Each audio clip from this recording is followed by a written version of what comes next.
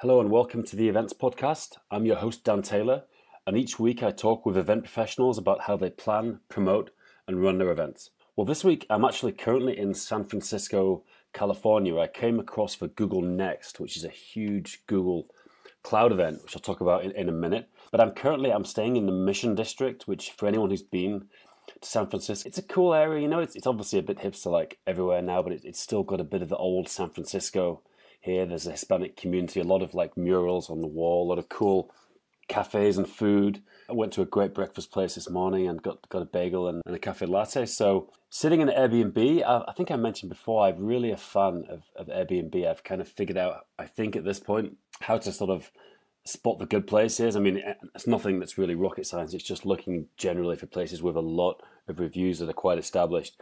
And I stay in hotels all the time, but I, but I really like hotels for kind of one to two days anything more than that, I really love getting an Airbnb and getting a bit more into the life of the place. So I've been here for four days. it's been a real flying visit. I came across on the weekend, uh, met up with a couple of friends, Roland, good friend of mine from Santa Cruz, California, who's a big surfer down there, and we've run events all across the world together. We've had a lot of adventures. We've even been to the demilitarized zone across the border into North Korea. So it's great to catch up with him and his wife and, and a good friend of mine, Owen, who used to live in, in Prague. So I had a day kind of decline, you know, decompressing and meeting some friends. And then I've been at the Google Next for the last three days, and I'm actually going there today for the morning, and then I'm flying back to Prague at three o'clock in the afternoon via Paris. So it's been a really kind of busy three days. The scale of the next event is really like nothing I've seen before. I, I guess you'd call it a confex, a conference, and an exhibition. Um, there's something like 30,000 people here. So the main event is in the Moscone Center, which is quite famous for where Steve Jobs, uh, I believe, un- unveiled the iPhone and did a lot of the Apple announcements. But it's not just a Moscone Center. I mean, that's already a huge kind of several city block area, but there's multiple hotels all around San Francisco where events are hosted as well. So it's it's a bit disjointed. Honestly, it's a bit too much sometimes because you have really kind of strict security checks. It's like going into an airport, you know, with all the scanners and taking everything out of your pockets, and you're going in and out of these places all the time. And lunch was crazy. I mean, I just gave up because the queue was too long to even get something. But but it's been cool. It's good to see an event on this scale, and obviously we're a Google partner, so it's good to be here. We had a special partner day on the Monday just just for the education partners in the hotel, the Landmark Hotel, really top of a huge hill in San Francisco. I didn't realize when I looked at the map, I kind of you know it was a few blocks away, and actually it was up a super steep hill. So it's good to get some some steps in. That was great. All in all, it's good. You know, there's a there was a huge keynote yesterday. I mean, I'm guessing several thousand people in, in the room. A lot of announcements, uh, and then you know, kind of walked around the exhibition area, met some sponsors like Acer, met the Google Education team, and went to a few sessions. So it's it's been good. A lot of networking, a lot of talking, but ready to get back to see the family uh, later on today. So on to today's uh, interview. This was with a guy called Jethro Binns, and he runs a squash membership site called squashskills.com. So it's really interesting. I've never spoken to someone who runs a membership site before, which is, you know, you, you have a site built around an interest and people pay you a subscription. So, for example, $50 a month to get access to videos and content and a community. And it's really good. I'm a member of this site. I've recently got really into squash. So it was fascinating to talk to him about how he built this business and how he made it profitable really in, in the first month. And there is an events angle as well because Jethro runs squash coaching camps all around the world, so he kind of uses his he leverages his, his membership site to, to also run in person events, and they kind of complement each other. And in addition, he's also a DJ and does a lot of promotion of electronic music. So we talk about that. He has a night called Just Just Jack, which is one of the longest running nights in Bristol, and it, I think it won some DJ awards certain years. So it's good to talk a little bit about music promotion as well which is a topic I'm, I'm, fascinated with. So, really, really good interview. Just remember that our podcast is sponsored by uh, EventsFrame, which is a system I co developed. It's a really amazing ticketing system. If you run any kind of events, I'd love you to check it out. We've got plans starting from around $39 a month. A lot of new features coming. We integrate with PayPal, Braintree, Stripe. Really amazing system. We spent years working on it. We've got a lot of huge events and small events running it. So, it'd be great for you to check it out and it helps support a growing business, taking on big companies like Eventbrite. So, really hope you try it and have a good week, everyone. And here is the interview. Hello and welcome to the Events Podcast. I'm Dan Taylor. Today on the podcast, I've got a really interesting guy I've been following online for a while, Jethro Binns. He's the founder of a membership website called squashskills.com, which, which I've recently joined. They've got loads of great content, which you can see on YouTube. He also runs coaching camps, squash coaching camps all around the world. Uh, all around Europe at least, which is really interesting. So that's kind of the event angle. Uh, and he's also a DJ and runs music events. So I want to get into that. I'm fascinated by the music world because I'm kind of on the fringe of it. So, so Jethro, huge welcome to the podcast. Hi Dan, great to uh, great to be here with you. Cool. So, Jeffrey, a bit of background as to why we're talking. Like, I've recently become obsessed with squash.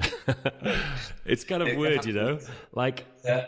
I never liked it when I was young. I always thought of it as a very corporate, you know, business person's game. You know, uh, when I was young, I didn't. I, didn't, I was always into like skateboarding, and I'm I'm still into like snowboarding, mountain biking, all the kind of outdoor, you know, more like freeform kind of kind of sports. And then what happened was just I've got a bunch of I live in Prague and I've got a bunch of friends play, and I just went along for the Wednesday night and like I just really got into it. I thought this is just like you know, despite what how I kind of perceive the image of the game. It's just a really cool, you know, it's like playing chess with an incredibly hard cardio workout as well. So I just, I just love it, you know. And and now I've got, I have a coach twice a week. I play in a league. I've got my eye on doing some masters tournaments. So yeah, that's I got into it, and that's what drew me into your content. Yeah, it can do that as a sport it kind of hits a lot of spots, doesn't it? In terms of every element of fitness is covered. It's pretty gladiatorial, uh, as you say. Within within 45 minutes, you get kind of a, a crazy workout, um, but it's got that competitive angle, uh, which you obviously don't quite get in the gym. So, and the ball keeps coming back, right? Compared to yeah. something like tennis, it, you know, it, it's pretty constant. Um, you know, it's funny you describe it as chess. I often think it's kind of chess cross boxing, yeah, with a racket. You know, it's it's so physical, it's so gladiatorial. You're in this kind of four walls, but you know, you're not actually hitting each other, which is, well, if you're doing it right, you're not hitting each other. Although you uh, do get, I mean, even like even in the year I've been playing, you know, I mean, I play a lot. I'm playing at least four times a week, and you do get you do get taken out once or twice. You know, like I, I don't think you can play squash of any amount of time without getting hit in the head by your by your opponent at some point. You know. yeah, I guess you, as maybe as you get a little bit better, that should happen a little bit less frequently. Yeah. But yeah, it definitely kind of gives you, you know, you can see why people get obsessed with it because it does just it gives you that that endorphin rush, obviously off the back of the exercise but then you've got that competitive element. There's genuine joy when you you do do win a match, and that you know you can constantly keep learning. Um, you know, I'm still learning now, and have been playing for 28 years, and you know, I'd like to see myself as a reasonably experienced coach, but you know, there's so many subtleties to the game that it just it, and it constantly keeps evolving. Actually, you look at the way the game's been played in the professional, the way the professionals are playing it now. It's it's different to how it was 10 years ago, and it's different to how it was 20 years ago, and it's certainly a lot different to how it was kind of 30, 40 years ago. So yeah, constantly evolving, fast paced, and um, you know, pretty dynamic. So lots to lots to enjoy about it. And the thing I like that kind of surprised me, you know, I, I mean, I, I, guess I'd hit the ball around when I was young, but I really, you know, I'm in my 40s and I just started playing it, and and I, I was pretty fit, you know, I did CrossFit and, and things like that, but but I'm amazed how quickly I'm improving. And so like you know in Prague for example there's like 22 22 leagues in this in this kind of division. And I started off at the bottom and I'm, I'm already in 12, you know, I've got a good chance of getting into the top 10 this year, you know, which is, means I could start playing in the, in the national league, the, the bottom mm-hmm. national league. And I'm, I'm amazed that I'm beating people, um, you know, 20, 25 years old just by having that, just, just even I'm just getting the basics of always coming back to the tee, playing to the back corners. I mean, it's, it is a sport you can take up later in life. And if, if you're pretty active you, and you've got some hand to eye coordination, you, you can learn it quick, which surprised me a lot. Yeah, I mean, ultimately, it's about accuracy, right? So if you can put the ball accurately into a certain part of the court and you can um, remain in control of the middle and control of the tee, you can make somebody do a lot more running than you. So you, you can play smart, or you can, you know, if you play stupid and you're just running around chasing the ball, or you're you're on the end of the rallies, it's it's going to be hard work. But actually, if you can play with a bit of accuracy, tie your opponent down in the right part of the court, then you can get on top of on top of people, you know. So um, as you say, a bit of hand-eye coordination and a bit of game sense, and you know, access to a great membership membership site that tells you how to play. Exactly, and, which uh, we're going to get onto. so tell me a bit about your background. How did you get? How did you end up becoming a a professional squash player. What was the? Um, did you just play it a lot as a youth, and then you were you just happened to be the best in your club, and then you, you, you took it to the next level? No, I mean I started off when I was about seven, um, and was very fortunate. A good family friend of ours was uh, was a professional coach up in London, so he kind of took me under his wing um, from from you know as soon as I started, and then we got involved with the Welsh setup at nine. Uh, and then became was Welsh national champion at kind of every junior age group Uh, so under 12s, under 14s, 17s, 19s, and um, and it just you know as I got got older, I stopped playing other sports around 15. As I got a bit older, it was like, oh, professional squash is definitely an opportunity. And then decided to have a gap year, so went over to South Africa between school and university. Trained like a pro for a year and thought, actually, right, I'm going to go to university, but you know, the, the goal is assuming I can, you know, maintain the trajectory that I'm on, we'll we'll give it a go. Um, so so came out of university, um, having you know joined the tour for a couple of years, had an okay ranking through uni, and then got some lottery funding, and then and then went pro. So you know, I was lucky enough to be supported by Wales. Um, with, with, with the funding, uh, well, yeah, some funding through through juniors, and then yeah into the early senior careers, um, and then yeah went full time uh, on the PSA and, and played pro for a bit um, before, unfortunately, it all just went went a little bit wrong. But, yeah, I mean, before we get into that, like it's it's it's funny because you know, just I just know a sport, you know, just from doing the sports I've done that it's just it's a pyramid, isn't it? You like it's it's so hard to move from one level to the next. Like you know, to be a good club player, then to be a good regional player and professional, and even and when you're professional, like to, to get to the next level. I mean, I, I, was I actually met a guy last week, Daniel Mekbib. I don't know if you know him. He's a Czech number one, and he's a professional. He's around mm-hmm. that top hundred, and he was saying just like how competitive it is. Uh, you know, there's the Canary Wharf tournament which we he almost qualified for but didn't. You know, and it's like it's and he's like an amazing player. You see him and you're just like this guy's unbelievable. But even for him, it's like he's at the next level when he's got a. It's all just the little little changes that could make him beat the guy who's ten places above him in the rankings. Yeah absolutely. It's a game of fine margins, and if you can do, you know, certain elements of the game better than another person, you can you can get on top. You know, it's incredibly physical. Fitness plays a huge part in it. Um, maybe less so now. Maybe it's kind of leveled out a touch. Maybe everybody's standards have, have jumped up from when I was was playing ten years ago. But you know, the the pace and the intensity that you're able to play at uh, does does dictate uh, a huge amount. But then obviously, you know, ball skill and, and control at the top level obviously is uh, is crucial as well. So it is it is fine margins, but yeah, going from uh, you know that average club player to a pro, it, it can be can be quite a, sh- a, step up and a and a shock, and it can look easy, can't it, when yeah. you watch somebody who really knows what they're doing, just being in control of the tee, and then that other person who isn't isn't quite as good, you know, just it's like you, are able to read the game. The more more time you spend on court, the easier it is to read the game, know where the ball's going. So you step into lines early, you take the ball earlier, put more pressure on. The more pressure you put on, the easier you know the, the less shot options your opponent has. The the yeah. quicker you, so you can accumulate and just get on top. So um, yeah, there's there's fine margins, but to kind of you know make those significant jumps is definitely a challenge. Yeah. So so back to your story, like so I don't know if you can talk about it. like like what happened. You said you know disaster struck. I guess this is like one of these TV shows when disa- the, the, the, yeah. the, sort of the moody music starts playing and disaster struck. Like what what happened? Yeah. Well, I, it's funny. You look at look at the time; it was a disaster. Looking back on it now, it's probably a blessing in disguise. Sure. Um, so I was playing in the World University Championships in Egypt. I was playing Omar Mosaad uh, in the quarterfinals, and um, I just went for a ball that I shouldn't have been going for actually in the in the front backhand on a slippy court, and um, it was it was rolling out of the neck as well. It was just ridiculous even trying to get it out. Um, but in in doing so, it did, kind of did the splits. Uh, but it was dusty court and my front foot just kept going, so I ended up tearing my um, hamstring oh. clean off my pelvis. you tore it off. Yeah. Oh my god. Yeah, so an avulsion tear. So um, yeah, it, it's just agony at the time. Got wheelchaired out of the hospital and. Um, it was quite funny. An Egyptian doctor at the time came to my room and she said, "Oh, you have a torn of your hamstring," and gave me two pills and said, "Really? This, this one for the muscle, this one for the torn. Tomorrow you walk, the next day you'll run." and um, I didn't. Yeah, I didn't take the pills.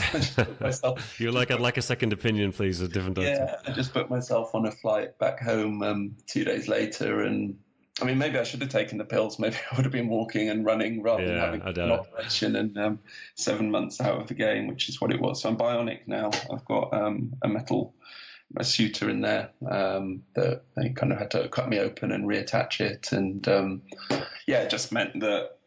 It was frustrating because I was one of the biggest mover in the whole world at the time for that year uh, on the on the world tour. I was kind of 80, 86, I think, in the world at the time um, and and heading upwards. And then off the back of that, yeah, seven months out, and the following season was was really frustrating. Um, I actually had a really good t- first tournament back. I beat world number forty nine in San Francisco, and it's like, oh, you know, back. Um, yeah. But just you can imagine having one hamstring that's effectively a bit tighter than the other for the next the whole next season. So my hips were sore, my back was sore, everything was just a bit out. So just ended up hovering about 120 in the world for the next the next year, and ended up losing my lottery funding. And then uh, in doing that, it was like, right, well, let's have a look at coaching. Moved to Bristol and started coaching. We're still on tour. Played one more tournament in Ireland um, before kind of saying, you know what, I think it's going to be coaching now. And you know, playing professionally is no longer really an option. It's tough, you know, it's tough as it is. So as soon as you lose lose that lottery funding, it becomes even tougher. How many people would you like? How many squash players in the world would you say make a living just from playing, like a full time good good living? You know, comparable uh, to having a good job. In terms of like what would kind of living wage, I guess, in terms of UK, maybe I realistically, you've got to be top 40 or 50 to be making that. And then right. as soon as you're below the top 50 in the world, you're, you're scraping by. You know, yeah. there's plenty of people living, still living at home or, you know, they're, not, they're certainly not putting a lot away. Um, yeah. So it's, it's top, I mean, it's got a hell of a lot better. Don't get me wrong. The, the world tour has done wonderful things in the last few years. And, you know, we just saw the million dollar prize fund at the world champs. So those top guys are actually earning some really good money now. But once you kind of get below top 50, you know, it's it's quite hand to mouth. And that's incredibly uh, competitive. You think how many people play squash in the world? Like to have a chance of making it a living out of it, it's it's almost impossible, isn't it? I guess. Yeah. Yeah, it's it's a challenge and it requires dedication and hard work. And I mean that's fundamentally what it's about. You know, um, you look at the top, some of the top guys in the world, and I hope you know they won't mind me, you know, name name referencing them, but players like you know Paul Coll, Nick Matthew, um, you know, not not necessarily renowned as the most talented of, of squash players, but they've got this mental strength and this work ethic yeah. that that's the key bit that gets them to the top. It's that ability to push themselves harder and harder and you know remain focused. That that's you know that determination, grit is actually what gets you to the top. You can be as talented as as you want, but if you're not prepared to put the hard yards in, then it becomes uh, you know, really, really difficult. Yeah, Paul Coll I like especially because I, you know, like I told you, I've been doing CrossFit for quite a few years now, and uh, he's he's big into CrossFit, you know, and it's it's good to see someone who who's using that to benefit his squash as well. Yeah, no, well, that documentary we filmed with him um, not yeah, long ago was, is fascinating, and um, you know, he does it in a smart way. Um, you know, it's all squash specific and picking, the cherry picking the elements of CrossFit that work for him. Um, but yeah, just an amazing athlete, and you know, shows what can be done. You know, he um, he said, you know, in his World Juniors uh, under 19 that year, he he lost in the round of 64. Um, so was you know certainly not a top junior. But then, as I said, just goes to show what hard work and dedication can do Definitely. to go on to become, you know, just broke top five in the world this month, didn't he? So um, cool. Oh, really? Hey, so I'm really because for me, you know, I run. Uh, I think I don't know if I mentioned it. I run a couple of businesses. One is a, I have, we have our own ticketing event management system, and, I, I, run an events company. You know, we run events for Google. So lot, we run a lot of. You know, my business is basically an online virtual business. You know, I'm in Prague. Our team is around the world, and and you've founded a business, squashskills.com, which is a membership site. And I guess this came from from your coaching. So I'm keen to know how this how this started. You know. Yeah, well, it was kind of around the time of uh, you know recovering from that injury and that that kind of slack year. Um, I was living, I was actually back at home with my parents, saving the pennies, and there was a family friend back there who um, he'd come across a, a, website called Fuzzy Yellow Balls, or well, it was a YouTube channel actually, and it was some some collegiate uh, tennis player doing some online tennis videos, and he uh, he was like, "Can't can't we do this for squash? Can't you do it?" And um, so well, maybe I don't know. I haven't, I haven't got much experience in front of camera. Said, "Well, come on, let's let's give it a go." So um, started. Yeah, we we had, he got access to a camera and started recording some very very ropey videos uh, with some very very ropey presenting for me. So bad that it got. I was having to. I had a can of Stella uh, just out of shot to try and help me relax and get my words out. Um, so we ended up with these terrible videos and kind of just played around with the idea. Um, Peter Nicol, who's world number one, uh, was actually managing my sponsorship at the time through, or former world number one, uh, was managing my sponsorship uh, through Prince. Uh, so was in touch with him, said, Well, would you mind doing some coaching videos uh, for us? We've got this concept. He said, Oh, it's a brilliant idea. I'd love to. So we went down to Canary Wharf, um, got, I don't know, it must have been about 20 or 30 videos with him out the back of Canary Wharf. And then seeing him deliver the content was like, oh God, this, you know, it'd be great to have Pete involved. So we offered him a stake in this concept, and um, and then from there it was a rocky road. Actually, that next period, like we had this had this idea, didn't really have any money, uh, ended up actually falling out pretty significantly with the family friend. Um, he was trying, you know, take it in one way, and we were actually looking at it's always a disaster doing business with family friends, you know, like, you know, it never, yeah. it never ends well. No, no. And, um, yeah, we ended up selling water, trying to sell water and electricity to squash clubs rather than focusing on creating squash coaching videos. So yeah. got to the point where it's just like, look, this isn't working. Um, and he he kind of bailed, handed his shares to Pete, and um, and then I said to Pete, look, I'm I believe in this. I think we can do this together. I've got a little bit of inheritance. I'll buy a camera, get some kit, I'll put some money into the website. Let's make it happen. And, and Pete was up for it. So so we then decided to crack on with the you know with the membership side. So, so what had you done with your initial videos? Did you just stick them up on YouTube, or did you monetize them in any way? Uh, did you get paid? No, we we started. There was a bit of a Facebook uh, Facebook page going. I was chucking some tips up, a little bit on YouTube. Just started building a little bit of brand awareness, I guess. But you know, in hindsight, looking back at them, they weren't great. They were just terrible, really, really bad. But um, actually at the time, you know, they did there was nothing out there, right? So this was 2011, 2012. Raised a bit of hype as well. I did at Canary Wharf. I did a world record attempt of figure of eight volleys standing on a on a Swiss ball. I don't know if you ever saw saw that video. Yeah, I did. Yeah, yeah. Um, so that that kind of helped kick things off with squash skills as well. So there were yeah a few a few little tips, and then we put the money into the website, a two thousand pound website initially we budgeted for. Which so you, you didn't hire you just you just paid paid someone you outsourced it to a, to a company or an individual. You didn't yeah. hire a developer or anything. No, I mean it, it, it crazy, kind of completely bootstrapped, and found an agency um, the website ended up costing about six grand in the end. Yeah. I think by the time we got start to finish, um, and Mark, who who did it with us, um, the developers come on to be a good, you know, a good friend. Um, but it was all kind of pulling in favors in Bristol. At that time, I was quite involved with the music. Well, yeah, as we discussed or um, mentioned, I was involved in the music scene here in Bristol and pulled in a few favors and connections. So had some creativity coming from the kind of the designers and the web developers that we knew through through the music scene there. So yeah, kind of put this date of July the second, two thousand twelve, as the launch date. Raised a bit of hype through social media, and and then yeah, went went for launch, and forty, I think forty odd people signed up on the first day, which at the time was you know, we were charging about hundred pound or hundred pounds a year for annual memberships. Lots of people were doing that. So suddenly, you, yeah, covers your almost covers your web development costs. Yeah, yeah. Was, at the time, it was just like, oh my. But how much content? Surely to go live. I mean, that's the thing. You know, I'm, I'm only going to join a site that's got a lot of content. Like, how much when you went live? Like, how many? Had you spent like weeks recording videos, or were you pretty light and just promised you'd do more?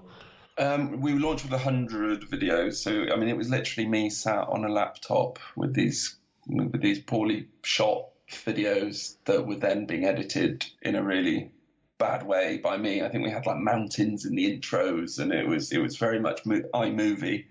Um, so we we properly winged it. Um, I mean, the filming doesn't take the time; it's the editing that sure. takes the time. Right, you can film a chunk of uh, coaching videos pretty quickly. So yeah, we had hundred at launch, um, and then so we I think we were putting one out a day. We committed to putting one out a day throughout that period. Um, and then as yeah, as soon as that first kind of four thousand pounds came in, it was like, okay, there's potentially merit in this. There's something in this, and you know, then you realise that there's lots to do with running a startup. And rather than me being a video editor, I literally put a um, post up on Facebook saying, "Does anybody anybody want to come and do some work?" Again through the music channels. Got a day's work tomorrow. Does anyone come in?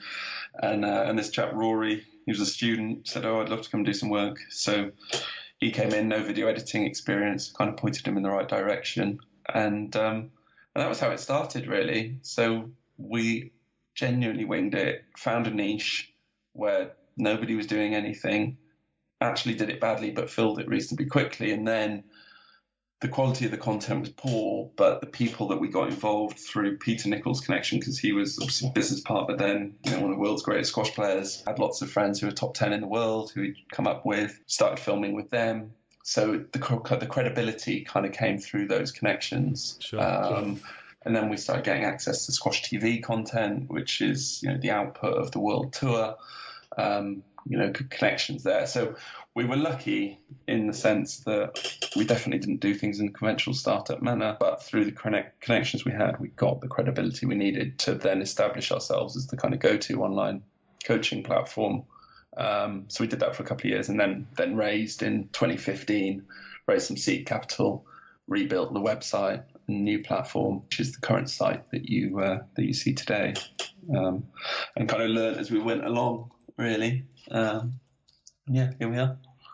Cool. Um, now, what what's your process now? Do you because I'll, I'll talk like for me, you know, this podcast it's a side project, but I, I, I, had so many false starts in podcasting because I was doing all the editing and all this crap. But like now, you know, I've, I've got I've got a team in the Philippines. If you want any advice on, on building a team in the Philippines, I, I can tell you everything about that. But uh, now I just record the podcast, I stick the link in the Google Doc record an intro, and then that's it. Bang. That somebody they make a graphic, they, they edit the podcast like that. Do, do you have a process like that where you just record a video, or you get someone else, and someone else takes it, you know, edits it, you know, curates it, puts the text, or do you get involved yourself with, with all that? I am still a little bit involved. So we've got a team of four full time in the office in Squash Skills. So there's a videographer, and editor. You actually have you have a physical office, do you? Yeah, yeah, yeah. Oh, old school. um, yeah, no, we we yeah we've come a long way. So we've got a growth team, so two full time, and then a, somebody working on strategy and the marketing, kind of two days a week. Gary heading up fitness. He works a couple of days a week. So yeah, very much a team and, and delegation now. So you know, I'm kind of working as a CEO, I guess, trying to focus on. Well, at the moment, it, we're looking at launching an app so it's um, it's product development for me, and then you know around content. But but now really, I'm trying to outsource as much of that as possible as well. Um, so you know, it's definitely about trying to remove myself from the day to day and get out of the weeds um, and focus on working on the business rather than in the business. You know, it's funny that that's that's definitely my where I'm at. I mean you know, there's so many different things. Like I've had, I've bought and sold a couple of businesses. I've uh, bought, I've built, I've started and, and, and, founded and sold a couple of businesses. And I, I used to have a business with a physical office. I had like 15 staff at one point. And I, I personally, I hated it. Maybe it was because the business was up and down. It wasn't in grey. I, I didn't like the hassle. And so I, I deliberately set out like these businesses to be just virtual, you know. I mean, I, I have an office here in Prague, which is I've got a cool place, and you know, and it, it's, it's but it's my kind of little kingdom. I hang out, and other people don't come here only occasionally. Everyone else is in in, in the UK, in the US, Philippines, Thailand, uh, Peru. Like we're all over, you know. But then mm-hmm. sometimes I think, well, actually, I miss having. It'd be nice to have an office and hang out and talk and go out for lunch together. I, I mean, there's no right solution, you know. I'm i st- I'm still not sure. I think on balance, I like the virtual and then just organizing meetups, but I think there's a lot to be said from having an office from just productivity sometimes, yeah. Yeah, absolutely. I mean, we're very lucky. I see as more of an extended family, to be honest. Um, we we've also got Malcolm, who's my um, my my dog. So he comes into the office with us. So there's kind of four of us in there full time, and you know I, I have a home office as well. So if it doesn't make sense to go in, then I can just get my head down here. But you know, I, I don't dread going into the office at all. I actually love it. I mean, we're still a small team, you know, in that sometimes there's five, five or six people in, but generally it's it's four of us. We're all friends. We all take the piss out of each other. We all have a laugh, and um, you know, it's very relaxed. We're down to a four and a half day working week now, and just trying to create a kind of a great culture where you know if work needs to be done, it gets done. But if um, it, you know, I don't want people just just sat behind a desk because they feel they have to be sat behind a desk. I want everyone to have reason to be there and then, you know, enjoy coming into work. So, um, yeah, I think you know, culture obviously plays a huge part in in how enjoyable the office environment is. Definitely. Uh, I mean, I, I think that's that's the key. I mean, I think if I had an office here again, it'd be like almost like more like a co-working space. People can choose to come in or not. You know, if we've got a meeting, they come, but otherwise they can come and work part of the time or work from home, work from a cafe. You know, I, didn't like having the nine to five thing because I, I am a very kind of erratic worker. You know, sometimes I'll get into something early in the morning and I'll chill out. You know, I go and play squash during the day. You know, a lot, and then or I'll do something in the evening. And I didn't like that attitude when everyone was in at a certain time and you're looking at people saying, "Are they working or not?" You know, that, that's what I didn't like. I guess.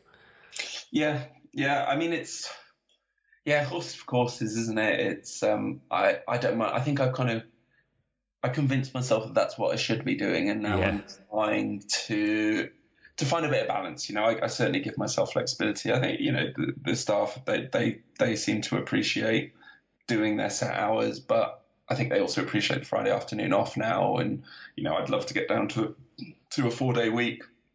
Um, but you know, as long as that degree of flexibility is in there, somebody's got an appointment or they need to leave early or they want to make up time you know it's absolutely cool, and that's the the luxury of having this this small team with you know the that it is like we treat it as I say like a family. So everybody has this desire for the product to succeed, and we're all in it together, which which just means that no one's ever slacking and nobody's ever trying to skive off. It's just not the the mentality anybody cool. has, which is lovely. So, so how quick, how how long after starting it did it become like um, a full time job where you were like, uh, this is actually making me me an income? I guess you're still coaching. I guess you, you kept the coaching going because it, it, feeds into the video. But I guess like, uh, how long did it take to get to like, okay, this is actually giving me a, a real income? Um, it was pretty quick in the sense that I was working with Hadrian Stiff at Elite Squash, and I was on a kind of a, a, set amount each month, which you know certainly wasn't a crazy wage at all. But almost within two or three weeks of launching, I I said I said to him, look, I think this this is what I want to focus on, and then was just supplementing, um, supplementing that coaching. Sorry, uh, supplementing the, the, work with some coaching. Yeah. So I was taking a salary pretty quickly. Uh, you know, it became very apparent that there was a ton of work to do, and said to Pete, look, I'm, if I can take some money out, um, it was a small amount, but at the time I was used to being, you know, had been a squash player and was used to not earning very much. So we kind of, you know, we were winging it, and it was a case of looking at the bank account, like, oh, can we pay this this month? Or can we do this? And we had, we actually borrowed a little bit of money off of father-in-law to to get us by for one little patch, and then there was a bit of a bank loan, and you know, it, it was it was very hand to mouth. Sure. Uh, but you know, the beauty of a subscription business is it you know you keep adding more members and more more monthly revenue comes in. revenue is the holy grail of, of business. Yeah, yeah, it's beautiful. It works really nicely. Um, but yeah, it just became apparent, you know, with in hindsight, you know, I would love to have gone out and raised early on and and had a bit bit more of a buffer, spent more money on a website or a better website. You know, given myself and Pete a salary early on, got some better camera equipment. But you know, we've t- our journeys.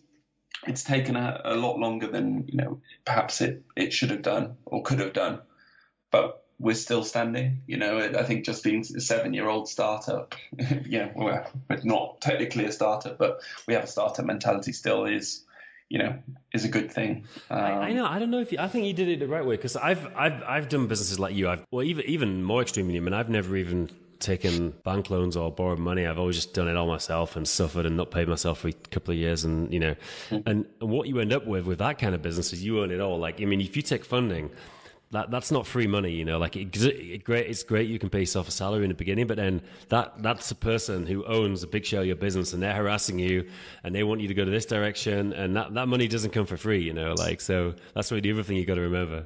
No, for sure. Well, we we, we raised in 2015. Yeah. Um, so we ended up giving 12% away um, at the time, which it was it you know that's not enough to feel significant board pressure or sure it wasn't a, a, a, crazy chunk. So actually, it worked out pretty well, um, and we built the brand and, and built this foundation of a business, which meant that we could raise a, a decent valuation without, you know, rather than just being an idea, we'd kind of prove concept and prove it worked, or proved it worked, um, which meant that you know we, we are where we are today, and cool. you know, still with major or majority shareholdings in the company, which is great. Great. Now, now, how did like how did your live training events um, fit into fit into Squash Skills? Because you you run these weekend camps, which I, have been checking out. I may even come to the Berlin one actually, because it's not too far from Prague. How uh, how how did that start? Um, I think it was just we got to the point where the brand was was so was you know big enough, we had a wide enough reach that it was just like it just felt like a logical next step. Um, you know, people were appreciating the videos, and it was like, well, you can kind of come and meet the coaches, and let's turn it into a fun weekend.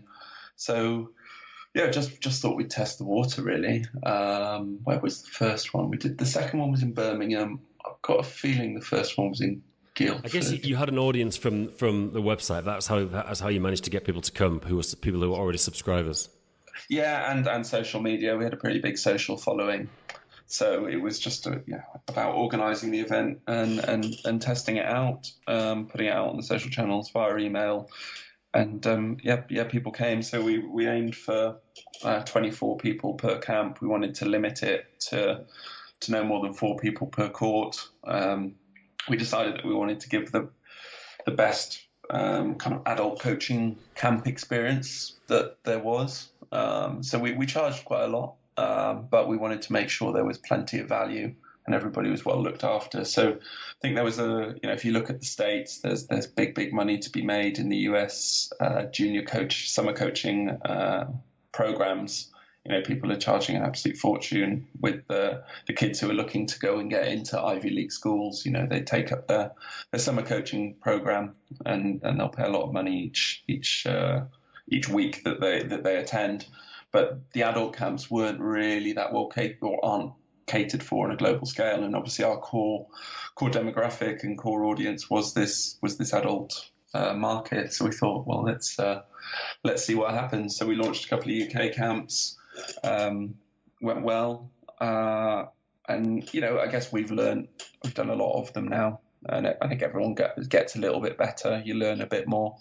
Um, so we did. Uh, we predominantly focused on the UK for the first two, three years, and then we, you know, our second biggest demographic is in the states. So we we've done a couple over in Yale. Um, then we we've done some in Amsterdam, Berlin, uh, Poland now.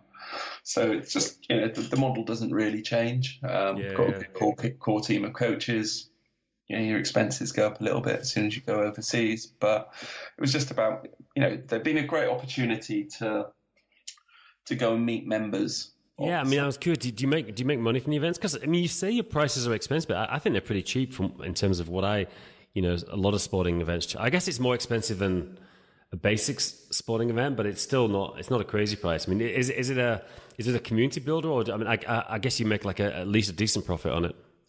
Yeah, the, yeah. The man, in the grand scheme of where, where the business generates revenue, it's not that much. Yeah. Doesn't affect the bottom line a huge amount. Um, but they're they're good weekends for us as coaches. You know, we, we get paid reasonably as coaches, so it can be a little bit of money, extra money uh, for the coaches, and then there's a brand fee for the company uh, as I say, it's good exposure. It's a good chance to to get feedback. So I think maybe in the earlier years, uh, they were a good opportunity to generate some extra extra cash flow. You know, because the money came in before the events and. Sure. During lean periods in the summer, if suddenly you've got two or three camps in October and people are buying in during the summer, it was an opportunity to put a few extra grand in the bank. But now with the subscriptions, where they are, that's that's less relevant. So sure. I think they supported the business in the early days uh, or, or, the earlier days, uh, and now they're just you know more of a fun weekend and a, a, community builder and a chance to to meet everybody if that makes sense. Yeah, it's funny. Like I'm really interested with sporting events. Uh, I've never run I mean, I, I guess I've organized a couple of like touch rugby tournaments and just snowboarding you know, kind of jams, but just just social ones really. And it's it's a big business. I don't know if you listened. I've got a really interesting interview of a guy called Chris Robb, and he's an expert in mass participation sporting events, really big big scale ones. You know, he founded Singapore Marathon, sold it to Ironman. You know, done some huge things, and mm-hmm. and it's amazing on the bigger scale. Like it's big, big business for sporting events. You know, you don't you don't realize. Like, I mean, most people think that for example, marathons are just charity events, but actually, like take the Prague Marathon, it's it's one Italian guy who owns it completely. It's his business, you know, and he makes oh. like millions out of it, you know. Yeah, no, that's. I think there's probably an opportunity within squash or around squash coaching, squash education for a much larger scale event, which I think a squash festival, if you will, if you like, there, it's something that needs to be considered. It's um, again, it's about prioritization and, and you know distractions. I guess the core part of our business at this stage is really growing the subscriptions. But um, true. I mean, I, I, think Marks, especially I think myself, you know, masters events are huge, and that's a demographic that's generally got money. And there are, there are. I mean, I'm looking myself at doing some masters events, but there's, you know, I think there's a gap in terms of like the not not the top top level, but like you know, medium to you know, good you know, club kind of players who people will travel to another country for a weekend for a, for a big social social networking and squash kind of tournament. I think that kind of thing could be interesting as well.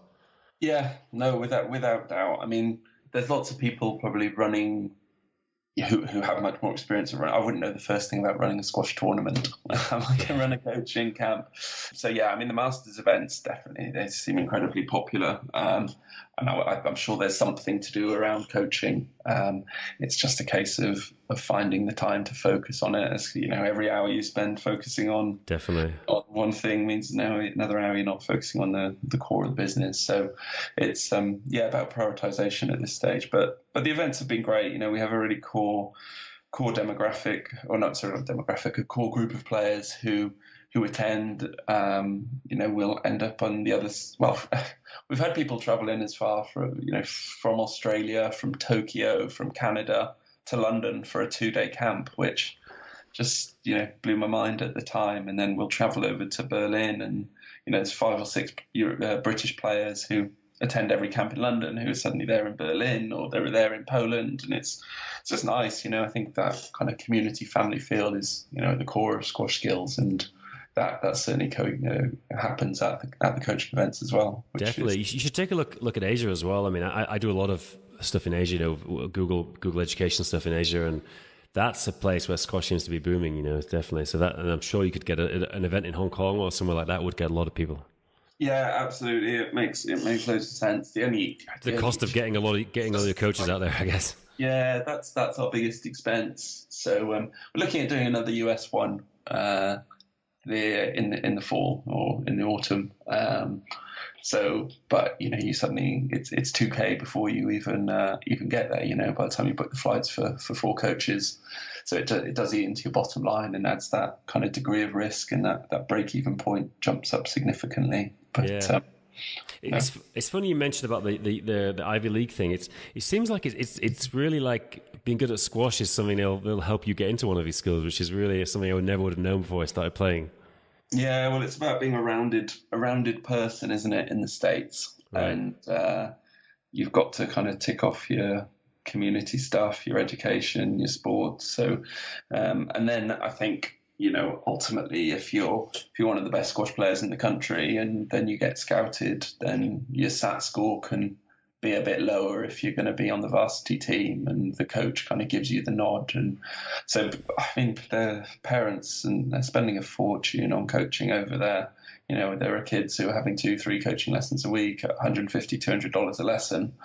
Um, you know there's there's coaches that are just hired solely by families and paid a very substantial salary just to look after one family, you know, and often get housing and board. So you'll you'll see a lot of a lot of coach uh, ex professional players moving out to the states post post PSA, and um, you know helping these kids getting to school. So it's not about getting on the world tour for those kids. It's literally their world championship. It's getting into that Ivy League school. It's funny if you've been following this scandal in the US now, but I think it's hilarious. So this this kind of fixer guy who was getting all these children of wealthy individuals in, into colleges and on on like you said you know it's all about you know the well-rounded stuff but but they were literally did you see they were making fake pictures of putting him in the rowing team and stuff like, you know like even photoshop pictures of showing them doing all these things and it was uh, i don't know if you saw that but it's hilarious to look at yeah no i can believe it having been out there and coached over there it doesn't it doesn't surprise me at all um, but yeah different world over there uh, in terms of uh, you know the ability to earn money as a squash coach. Um, yeah. But yeah, absolutely fascinating and terrifying at the same time. Yeah, sports coaching's funny. I mean, my, my only experience is, is being a ski snowboard instructor, you know, which is very much a lifestyle mm-hmm. job. You know, my, my squash coach is a cool guy. He's a subscriber actually to your, uh, uh, Lukash. I'm sure he's listening. He's a subscriber to your, to Squash Skills. As a coach. You know, his whole attitude with squash coaching is, you know, he's a young mid twenties, but he's saying, look, you know, I'm gonna. He, he, was on the Czech junior team, but like we talked about, it's a pyramid, and it just, you know, he just wasn't good enough to get to the next level. But he's a great coach, and he's just using it for because he's getting great business connections. He's getting into different things, and kind of that's his his idea is to do the squash coaching, and then you know, with the people he works with, you know, try to try to get the next stage going. You know. Yeah, well, that was it. It was part of the reason for committing to squash skills. You know, I spent a long time stood on a squash court uh, as a player, and the idea of standing on a Wait, you didn't want to waste all that time you'd spent on a 40, 50 years. Yeah, you know, running around a squash court as a as a you know 55, 60 year old is uh, is challenging for seven, yeah. eight hours a day. So uh, it was about exploring those other opportunities and finding them. And you know, it's a it's a it's a lovely thing to do. You know, you're helping people get better at their passion, right? But um, also, it's you know a tough a tough way to make a living as well. It is. I mean, that's like you know, the thing about squash is like if if you can just avoid messing up your knees messing up. You know, there's a few key things that get a lot of people. You know, and I think I'm trying to, especially getting into the game later. I'm just being really conscious. I want to, I want to have the longevity and not just mess myself up from it. You know, which which you can do. I've seen a lot of people do it. Yeah, no, without doubt, you need to need to take care of yourself and do plenty of strengthening. And um, but they do, you know, it's it's a healthy sport as well. In yeah. lots, of, you know, obviously there's impact, so it's about maybe minimising your impact when you training for squash. You know, you're going to get enough enough impact when you're actually playing, um, but you know, maybe avoiding the the running and uh, and the court sprints, maybe jumping on the bike and that low impact stuff. But you know, it does it does cover everything. You know, you're remaining mobile and flexible, and you're getting down to deep lunges, and you're strengthening, and you're you're remaining powerful. So it's certainly a good thing uh, for your fitness. But definitely yeah, God, I'm probably if anyone who's not into squash is probably going to be at this stage of the podcast. like, but I just, just I'm not. I noticed like you're right because like CrossFit, you do a lot of lunges and things, and I think that's the thing. If you, if you train things like that all the time, build the leg strength, build the muscle memory, and, and, and also just don't slam your feet down as hard. I think you can just not. You, you can easily avoid not messing yourself up in squash. I think. Yeah, no, I think so. I think so. It's uh, well, it's about learning to the, the, the smoother your movement and the more fluid you are, the more effortless you make it, the, the less stress you're going to put on your body ultimately. So the more, more, more, more videos you can watch on squash skills about, about, uh, getting that fluid movement, the, the longer you're going to be playing for. Yeah, it's funny, like general life thing. I've been trying to focus a lot on my life about not, you know, because I recently had a child and I got married and you know, just my whole life's become a bit more serious than it used to be. I kind of had a very prolonged adolescence for like 20 years too long, you know? And now, like, the good thing about your website and a couple of others, uh, business related ones, is like, if I'm going to mess around and watch YouTube now, like, I'll watch, like, for example, your, like Squash Skills, because it's it's entertainment, but I'm focusing. I'm thinking actually this is something I could do. Like I've I've, I've got myself away from just watching crap that isn't you know isn't gonna have any benefit on my life. You know, and like and, and the good thing about having a hobby, you get like like I told you, I've got kind of obsessed with this recently. The good thing is, it's it's great for me because I can just turn my brain off my business. And when you when you're an entrepreneur, you know this. It's really hard to ever turn your brain off. But if you've got something else I just go and play squash and that's it. That's all I think about, you know. And then I can come back to my business and I've, my brain's been off it, and that's what I really like about it. And it doesn't have to be squash. Like any any hobby that you can do that can get into that deep flow state where you that's all you think about is is really beneficial. Hundred percent. You um, if you yeah, if you're in a in a tough squash game, you're not really thinking about anything else, right? It's uh, you're thinking about surviving, you're thinking about how much it hurts, you're thinking about how much you want to win. So you can just shut out all that stuff that's going on, you know, outside of the squash court. And often you can, as soon as you close that door, then you're you're you're into a different world, and it's um yeah, it's lovely. It's just great for that.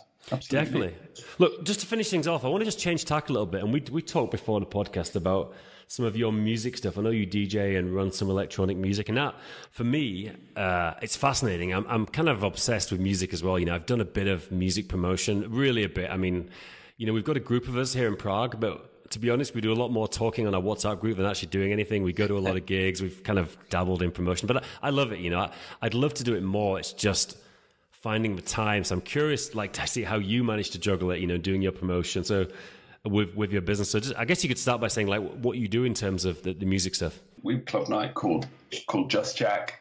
Uh, we actually just hit our thirteenth birthday, um, which in electronic music feels like you know it's, it's quite a, quite a milestone, I guess. There, not many people end up promoting for, for quite such a long period of time. Um, I actually got involved when I moved to Bristol, so around that injury time. Um, so the guys were five, been going for five years, and um, they were kind of getting a bit fed up with it and needed to restructure. And I just uh, moved to the city.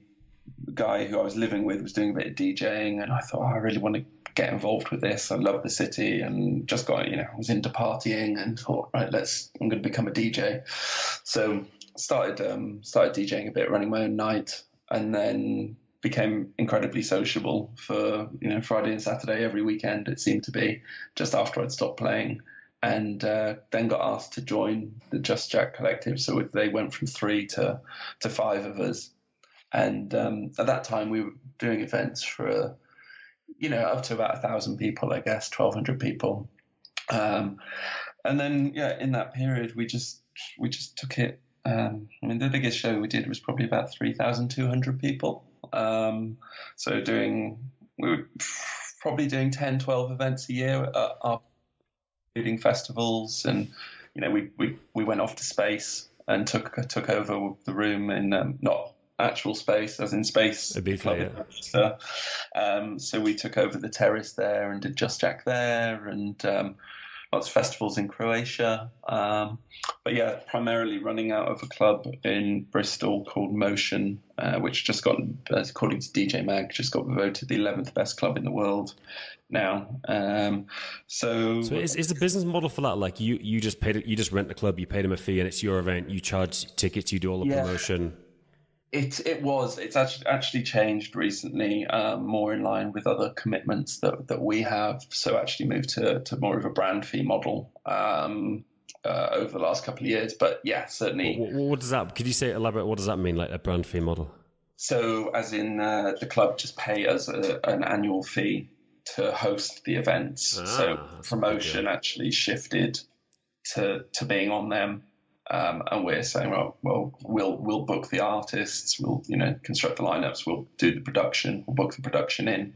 But the brand had kind of become so strong, uh, I guess nationally, really, um, that you know we were in a fortunate position in that we could command a decent brand fee, uh, and then take the promotional stress off ourselves with you know on running squash skills. So, so we've been in that for a couple of years. Um, that model.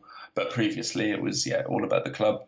We'd pay the club a, a bit of a brand, sorry, a higher fee, uh, relatively small actually. But we would take the we'd take all the tickets, and then they would take all the bar, um, and that kind of.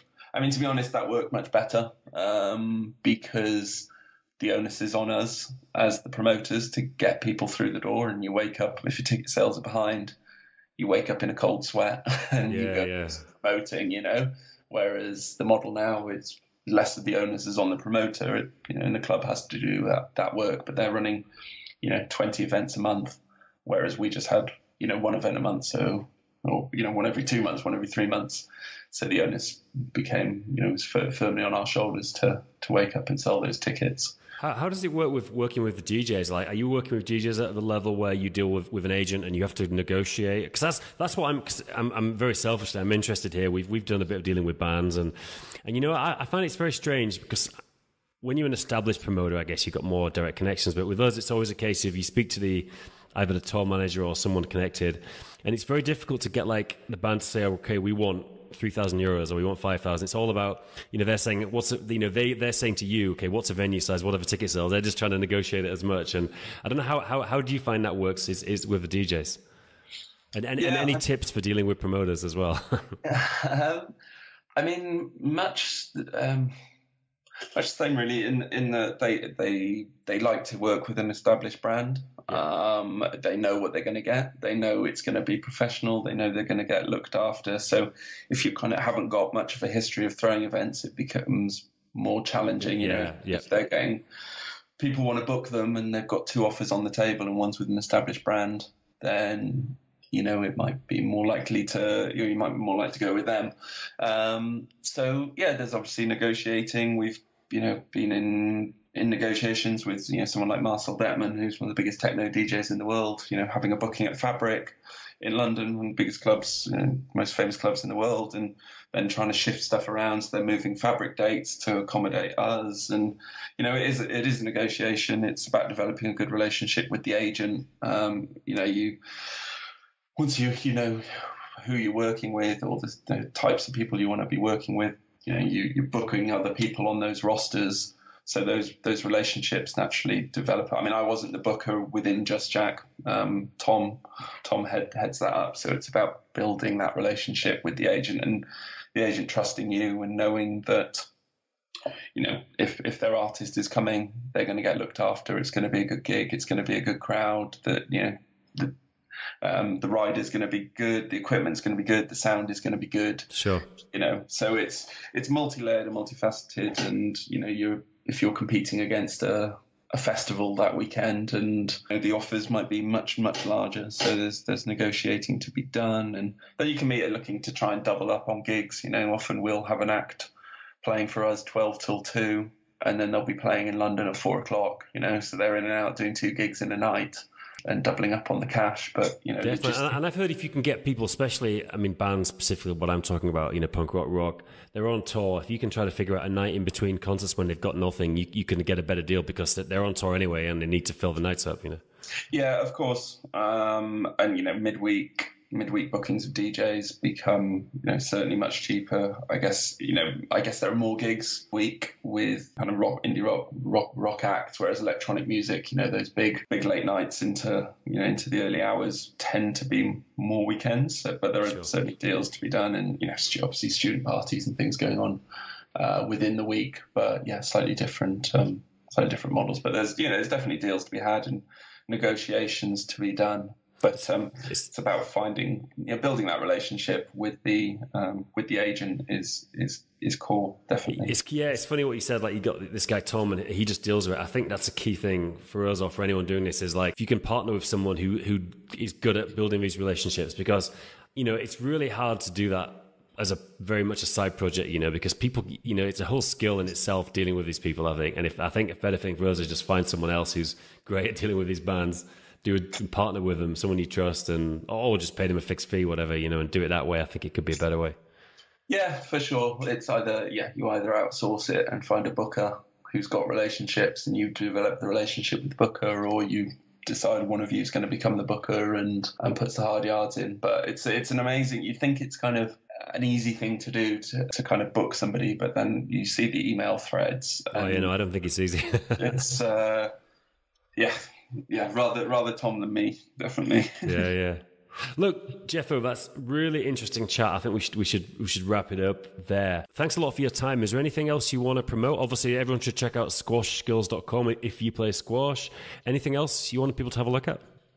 Um, no, I mean just the events. We're we're coming to Berlin uh, next month for the for the squash camp. So any squash players that are up for up for that, um, that's going to be a, a wonderful um, wonderful event in a, a, great city with lots of great music as well. We're actually staying on till the Monday to go and enjoy the uh, electronic nightlife afterwards. But yeah, other than that, just yeah, squashskills.com. There's lots of lots of useful coaching tips on there and lots of stuff to improve your improve your game. Are the for your squash camps like what's is it? Do you have a range of levels, or do you need to be at a certain level to attend one of these?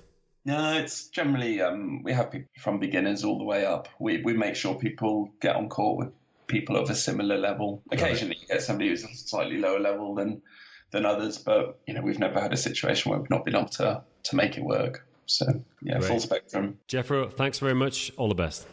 Cheers. Do you want to sell more tickets to your amazing events? EventsFrame event ticketing has been built to minimize the amount of time it takes to buy a ticket Result? You sell more tickets. Check out eventsframe.com